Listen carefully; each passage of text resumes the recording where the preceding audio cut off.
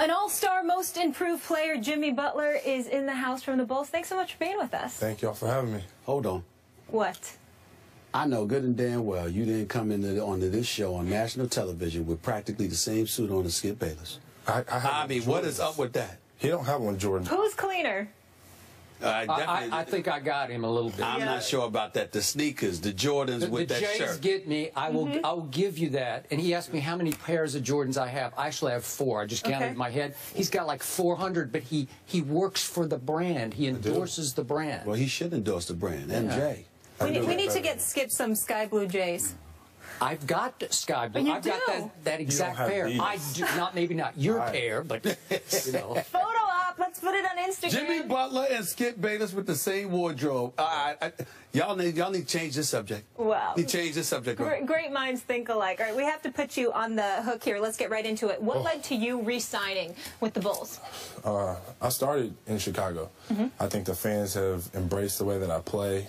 Um, they've loved me whenever I wasn't too good of a player, and now I guess I'm okay. I'm pretty decent, so I think it was a place for me. Well, you're better than you're better than decent. I'm proud of you, bro. Because first of all, let, let us make sure we understand this: the 20 point average, you know, the 36, 30, 35 percent shooting from three point range, the 46 percent shooting from the field, being an all star, the most improved player, defending better than most in this league. But more importantly than that, you're somebody who bet on yourself. You and I were together like the first game mm-hmm. of the season in Chicago, and this guy couldn't reach an agreement with the Chicago Bulls, so he bet on himself, and this is what happened for you. I want to know how tough this season was for you. Were you worried at all, knowing that a contract year was coming? You bet on yourself, and obviously any kind of injury or anything like that could have cost you millions of dollars. It it crossed my mind, but I was so confident in the work that I put in last summer that I knew what I was capable of. I knew what I was going to do this year. Uh, my trainer, Chris Johnson, who I call Dodo because he's not the smartest individual.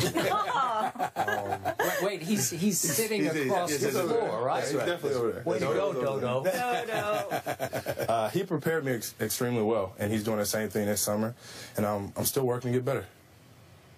Go ahead, Skip. Do you want to ask about Derrick Rose? Uh, I I- knew it I- I- well, well, it's definitely coming. I knew it. Uh, Okay, let- let's- we, got to do it. I, you- go ahead. go. Go ahead. Go ahead. I, I'm going to tell you what I hear from a lot of people I know in Chicago, where I, I once worked. That that Derrick Rose is a little threatened by you because you have emerged as at this point in your career maybe a little better all-around player than he is given his his knee issues which are ongoing. And that he's just a little threatened. You've been quoted as saying you have absolutely no problem with Derrick, and I believe that 100%. But have you felt, or how much have you felt a little friction on his part back to you? I don't I don't think it matters. If we win, this isn't this isn't an issue. But since we lost, it's an issue. I think it gives y'all something to talk about, to tell you the truth. Okay. But if we win, if we win the championship, nobody's worried about any of that. The only reason that it came up is because we lost. I don't think we have any beef or whatever you want to call it.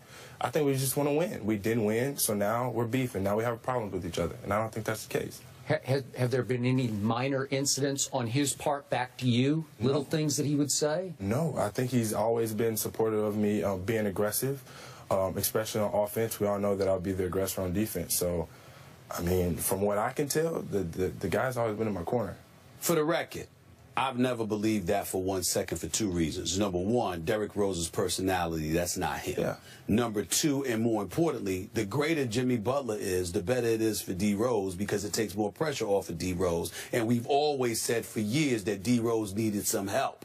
At, at, at the guard spot so he could get somebody that could feed off of him and he can feed off of them and they can go from there. Based on what you saw this year, however, with Derrick Rose, how confident are you in him moving forward from a health standpoint? Because even though he had some great moments, here's my issue with Derrick Rose, the consistency. Because that last game, that when y'all didn't show up, he got outplayed by Matthew Dellavedova.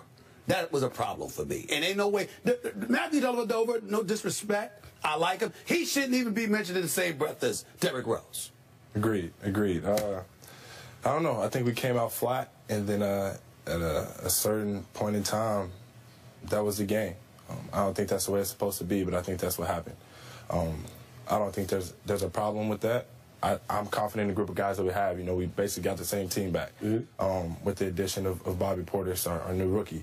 But um, I'm, I'm comfortable where we're at. You know, new coach, but we'll be all right. Why would you be comfortable considering how the season ended and the fact that you guys just got to the semifinals of the Eastern Conference? If a championship is the objective, the roster stays the same.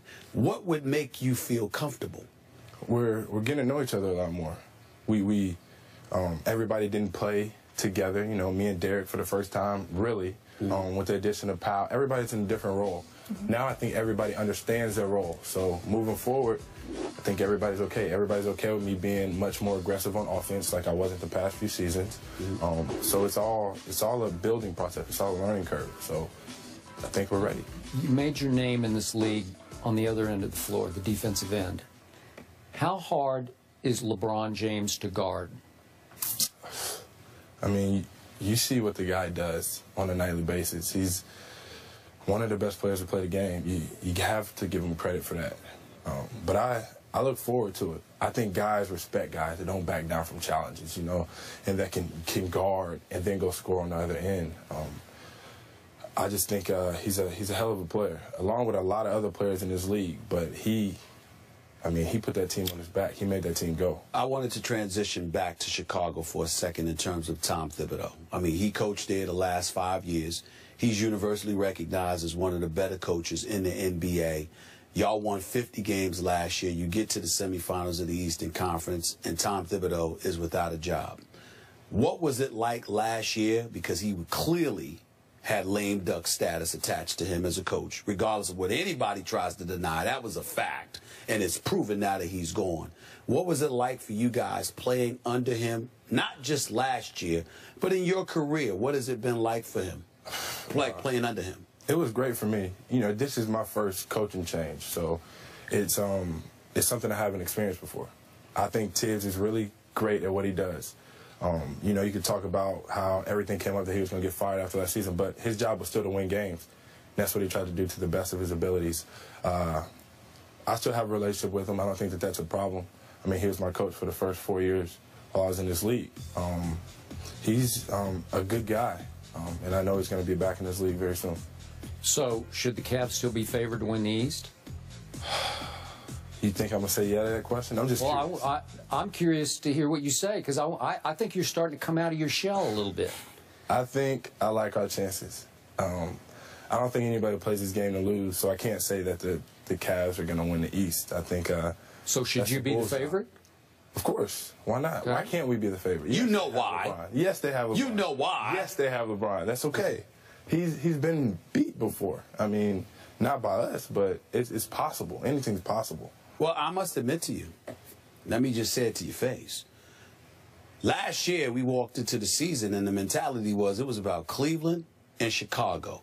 Even though Atlanta came out of nowhere, I knew they weren't beating Cleveland in the Eastern Agreed. Conference Finals, and, and they lucked up with the, the seeding that they had because I felt if they faced y'all, they probably would have lost to y'all in the playoffs.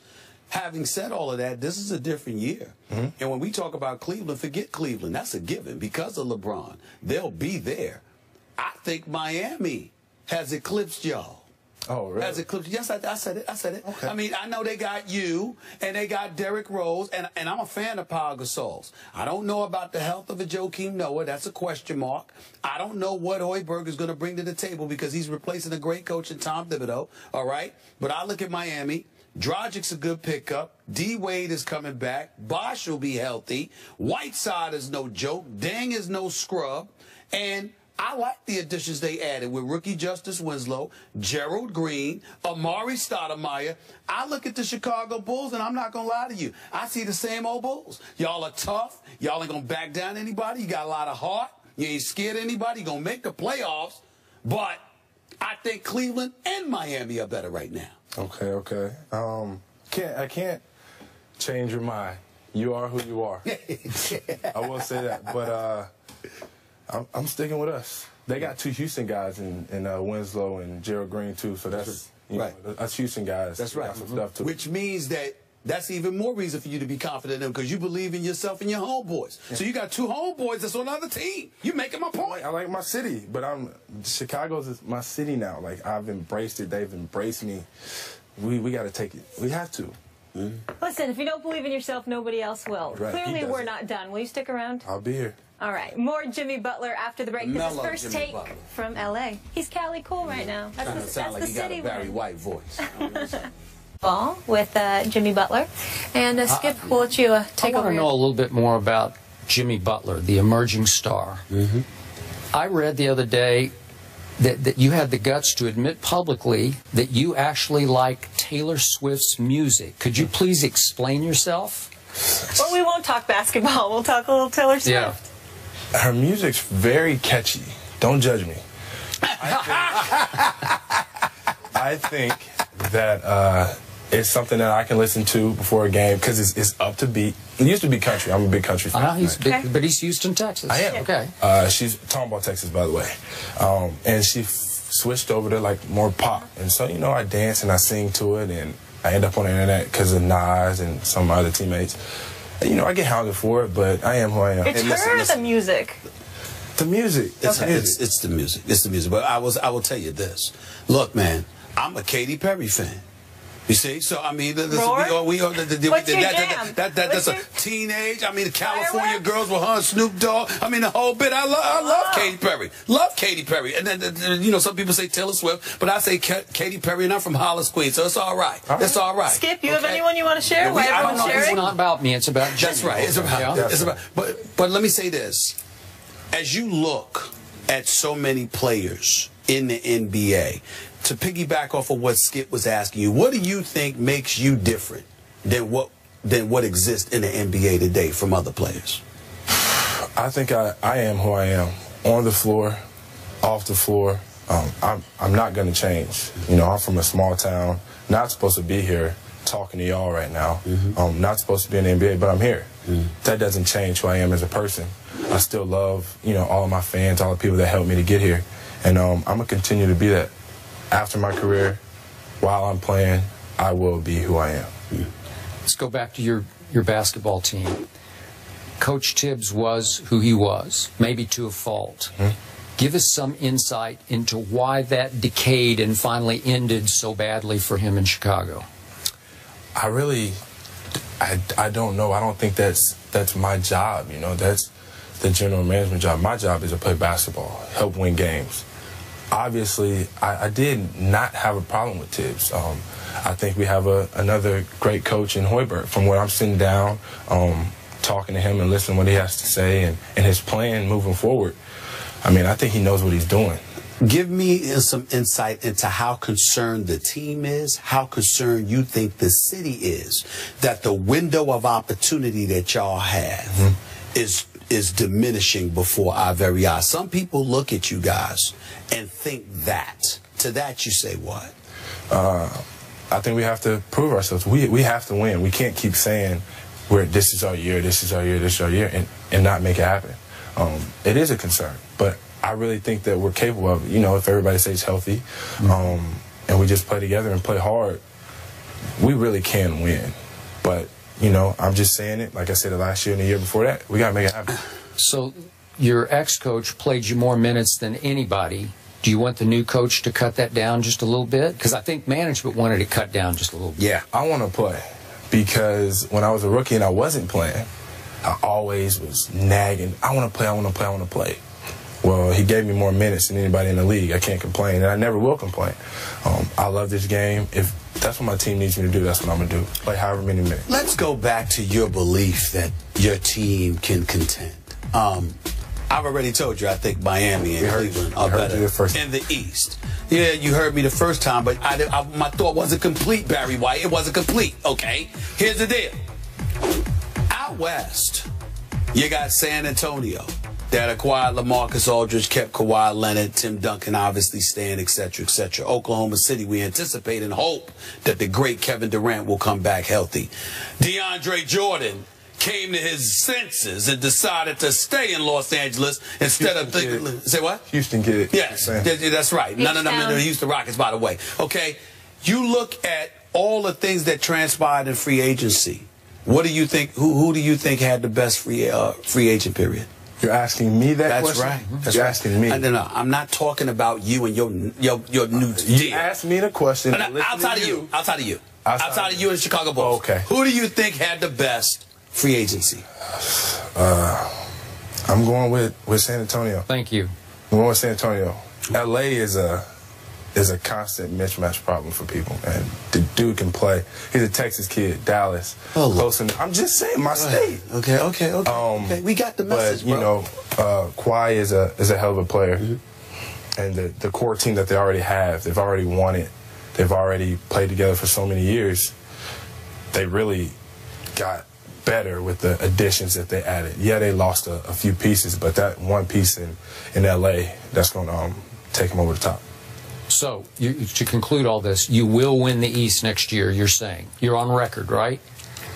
I have to be on record saying that. I have to. I can't say we're gonna lose. Like, we don't play this game and lose. Yes, we aren't. We're not listening to your opinion.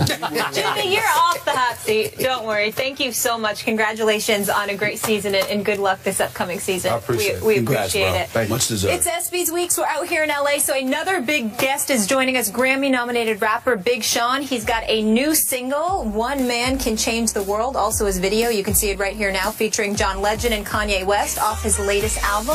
We'll talk to him on the other side of the break.